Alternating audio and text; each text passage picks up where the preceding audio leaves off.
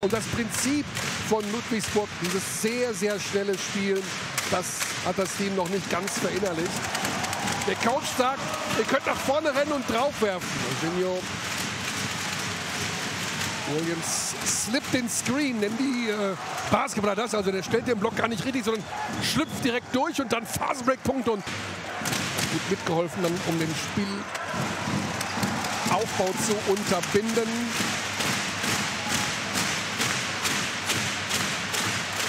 Und dann Jallo, den wollte er richtig stopfen. Williams mit einem sehr guten Timing beim Offensivrebound. Fantastisch. Also eine Trainerkarriere, die gerade erst am Anfang ist. So, jetzt der erfolgreiche Wurf von draußen. Was er macht, wie er agiert. Er hat immer noch so ein paar Schwierigkeiten aus Pick-and-Roll-Situationen zu scoren. Hier aber nicht.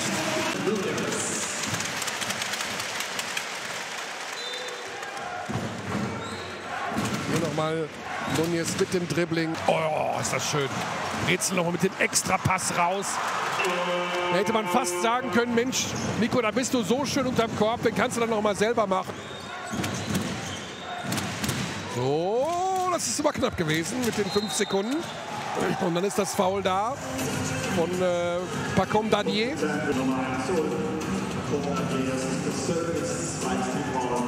Vom Talent her und von dem, was er da so abliefert, einen guten Eindruck. Schön gespielt. Ja, wir müssen wieder die Anzahl der Assists. Aktion vorher von Melson, wo die Mitte frei war. Momentan sicherlich ihr bester Distanzschütze, aber das hat sich mittlerweile rumgesprochen in der Liga. Deswegen sind die Würfe mittlerweile schwieriger. So wie hier. So, jetzt schauen wir noch mal hier den Wurf von äh, Jake Patrick.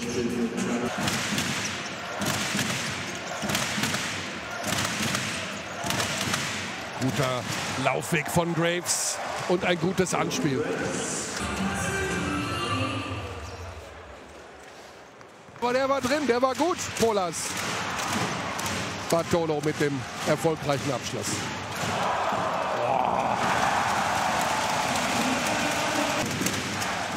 Rhythmus zugute kommt. So, jetzt mal Ballgewinn und dann wird Melzen nicht richtig attackiert. Jallo halbherzig, er nimmt es auf seine Kappe. Das macht schon Spaß, dem zuzuschauen bei seiner Passintelligenz und hier das äh, fehlerhafte Defensiv. Graves. Jallo bietet ihm die linke Seite an.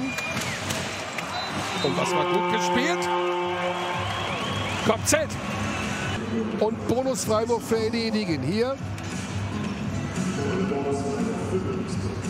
Das war Bartolo. Da lässt er sich den Ball ziemlich einfach wegnehmen. Da muss er vorher passen. Und wer steht da in der Ecke? Karim Jallo für drei.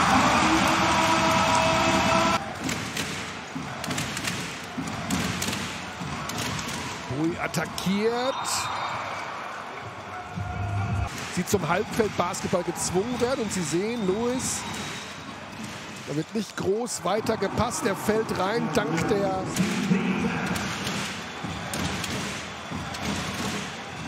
Lewis. Und dann ist im Nachfassen Childs da Auszeit genommen von Tono Gavel. Ich glaube, dass das dem Childs kann hochgehen. Tippdank. Hier am noch mal hochheben. Ich glaube, da hat er nicht damit gerechnet, dass Luis über die rechte Schulter geht. Und Luis hat nicht mit Janos Antwort hier gerechnet. Keine Zuordnung in der Defensive. Schwaches Defensivverhalten. Und Josh King ist außer sich. Er hasst es, wenn man da nicht mitdenkt. Und da sind sie geschwommen. Hier, schauen Sie mal. Keiner bei Jallo. Und keiner bei Matthias. Und da war auch keiner bei Herken. Langer Wurf, langer Rebound. Das weiß Hammond, dass das so funktioniert im Basketball. Und daraus macht er leichte Transition-Punkte. Das fällt natürlich von 100 Fällen 95 Mal rein, dieses Ding. Nächster Versuch, extra Pass.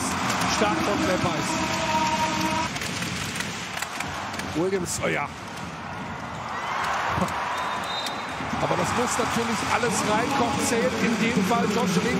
Und wieder ist der Ball weg. Lubo ist gallig, gut mit den Händen unterwegs. Aber sie machen zu wenig in dem Fall. Edigin verpasst und vorne statt die einfachen Punkte kassieren sie Fastbreak. Jedenfalls geht es dann super schnell nach vorne. So schnell kann man gar nicht schauen. Man kann da mehr aus diesen Möglichkeiten machen bei Ludwigsburg. Auch ein Edigin vielleicht noch mal mit dem Ball etwas sicherer aufnehmen. Jorginho auf der anderen Seite attackiert. Und auch das wird einen Bonusfreiwurf geben. Ulm ist dran bis auf 5. Hui. Und in der Ecke, das ist so wichtig für Ludwigsburg. Melzen für drei. Dreier. Quote 6 von 14 und dann schnell abgeschlossen auf der anderen Seite. Wir sehen, wie überragend schnell auch Ludwigsburg versucht, aus einem Made Basket des Gegners einen Angriff zu kreieren. Und Melzen ist jetzt da.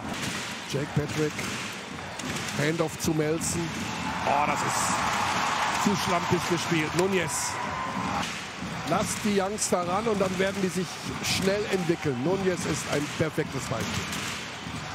Bui. Ja, genau die richtige Wahl.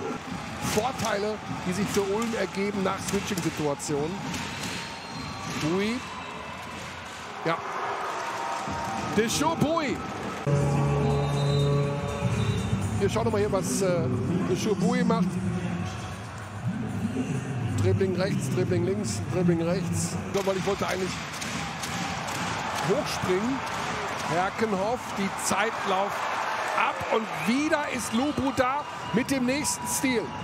Wenn sie jetzt diese Möglichkeiten konsequenter nutzen und das tun sie mit dem Dreier von Melzen, Fouls zu geben. Es gibt überhaupt keinen Grund jetzt hier nachzulassen. Natürlich will ein Trainer in der Phase, das ist Nunez, nächster Turnover. Und noch nicht mal das Zeichen der Auszeit. Doch, das ist die Auszeit. Ich wollte gerade sagen, also wenn das jetzt nochmal Fastbreak-Punkt gerade verteidigt, wie Lubo das macht, dann ist der Trainer natürlich darauf bedacht, die Intensität hochzuhalten. Wir sind bei 20% Dreierquote. Damit ist klar, viel Offensive kommt da momentan nicht. Und stattdessen an alle Fans in der Barockstadt, die sich in den letzten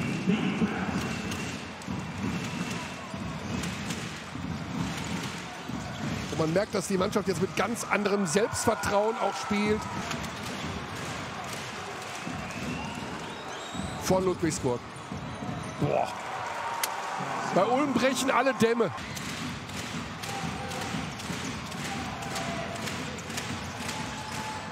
Der wird attackiert. Childs ist da. Das mag ein Coach. Lubo geht auf die 100 zu. In Ulm beim deutschen Meister. Eigentlich eine Heimmacht.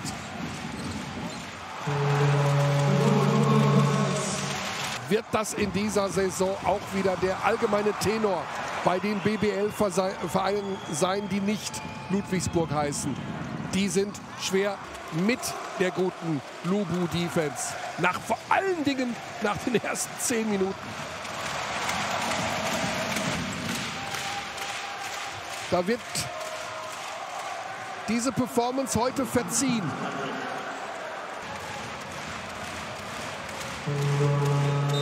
Und am Ende 99 zu 70 für die Gäste aus Ludwigsburg.